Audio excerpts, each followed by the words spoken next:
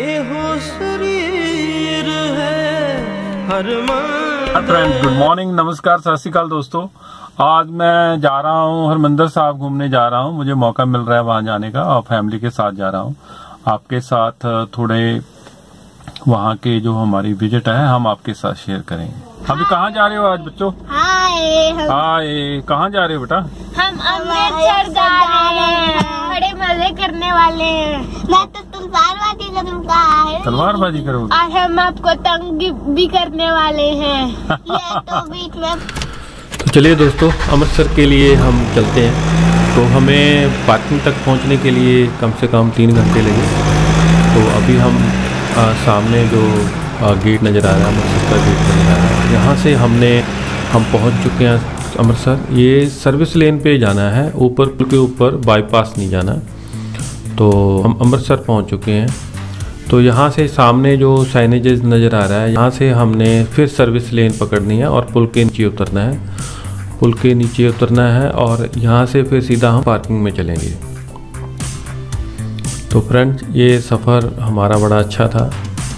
तो अभी हम, आप पार्किंग के लिए यहाँ से एंट्री लेंगे। लो जी, ये पेट्रोल पंप हमने क्रॉस करना है।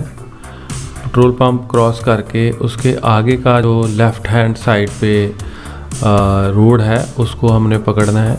यहाँ से वो साइनेजेज नज़र आ रहा है और जो एलसीडी डिस्प्ले भी लगा हुआ है। ये, यहाँ वाला एंट्री नहीं करना और नेक्स्ट वाला हम एंटर करेंगे। हाँ ये जो गाड़ी जा रही है, इसके पीछे हम। हाँ यस ये वाला रास्ता पकड़ना है।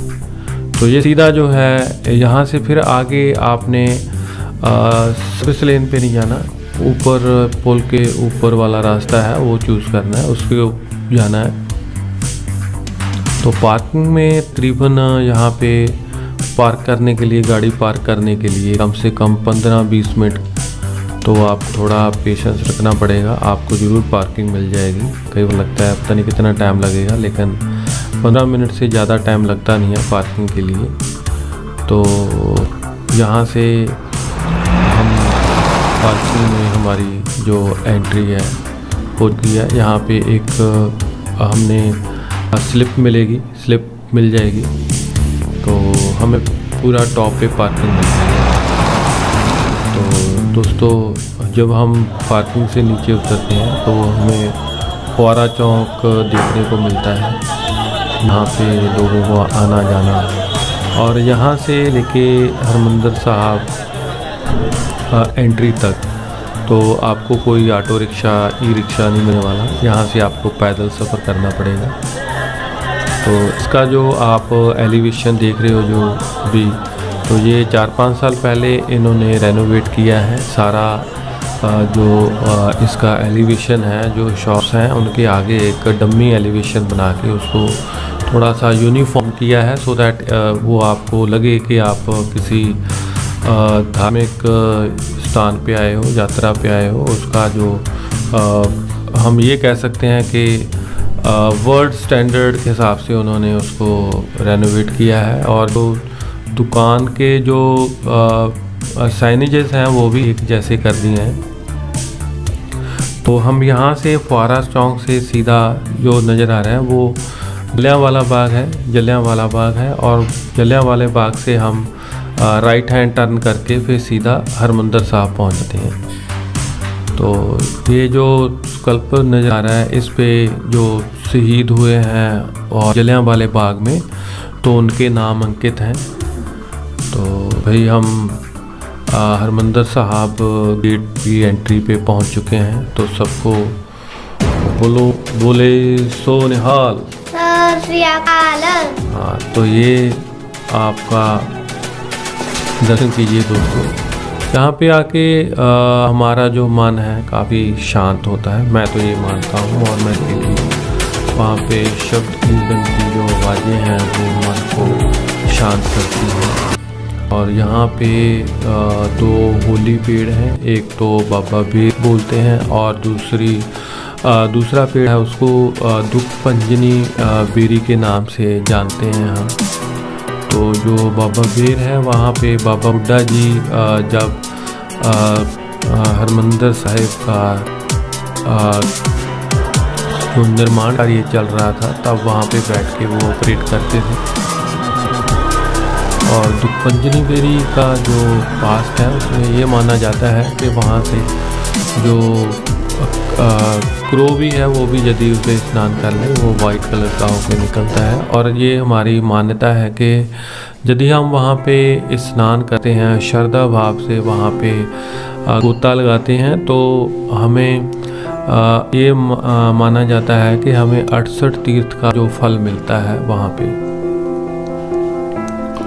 तो फ्रेंड्स आप यहाँ पे आ, जो भी आपकी श्रद्धा है जो भी आपका मन में लेकर आए हो कि वहाँ पे जाके, अमृतसर जाके नतमकसद होते हैं हम यहाँ पे।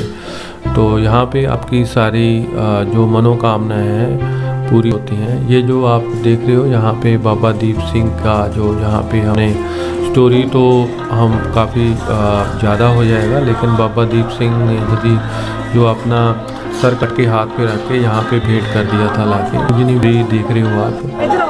तो यहाँ पे जो गुरु अर्जन देव जी और रामदास जी यहाँ पे बैठ के उन्होंने जो निर्माण कार्य किया है और दुखंजनी बेरी का भी जो मैं आपको दिखाता हूँ ये देखो कितना हरा भरा है ये, अभी भी पेड़, ये कितना हरा भरा है। तो इसको मेंटेन करने के लिए इन्होंने ये जो जो एक्चुअली जो स्टेम है दुखंजनी बेरी का, ये यहाँ पे बनाया गया है। तो तकरीबन दो घंटे के आसपास लग जाते हैं यहाँ पे। और एक घंटा पौना से लेके एक घंटा मान के चलो आपको लाइन में लगना पड़ेगा। उसके बाद दर्शन होते हैं। तो दर्शन करने के बाद आप दुखपंजनी बेरी पे मथा टेक के आप लंगर में भी तकरीबन आपको पौना घंटा लगने वाला है। ये लंगर हाल है। और लंगर हाल में आप लंगर का आनंद ले सकते हो। आप यहाँ पे देख सकते हो कि इतना जो संगत की जो भीड़ है, उसको कैसे मैनेज करते हैं।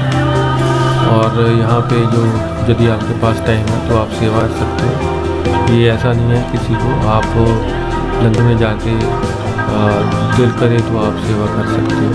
तो भी हम लंगर और माता के हम बाहर आ गए हैं। तो यहाँ पे आपको एक हमारा देखने को मिलेगा।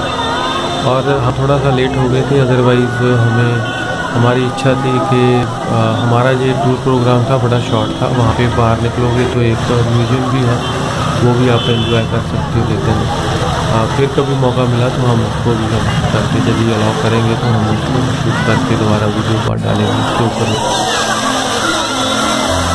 तो तकरीबन हम सुबह सवा दस बजे के आसपास चले थे और एक डेढ़ बजे वहाँ पहुँच गए थे। अभी तकरीबन साढ़े पाँच का टाइम हो। रहा है तो हमने, ये हमारी शॉर्ट विज़िट थी। हमारा सिर्फ़ हरमंदर साहब ने प्रे करने का था। तो नेक्स्ट टाइम आएँगे तो हम आपको जलियाँ वाला बाग और, वाघा बॉर्डर वहाँ पे जो और भी स्पॉट हैं वो भी हम आपके साथ शेयर करेंगे तो उम्मीद करता हूँ दोस्तों आपको ये अच्छा लगा तो हमें इजाज़त दीजिए।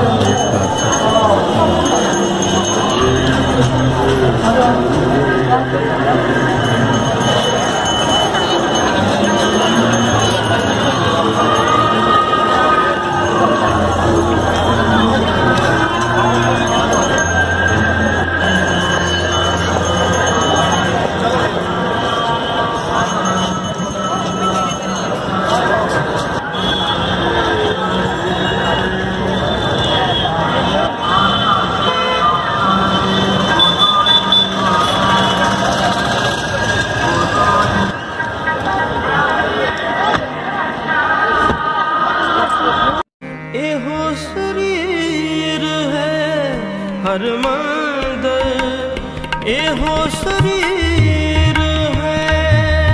ज्ञान रतन प्रगट है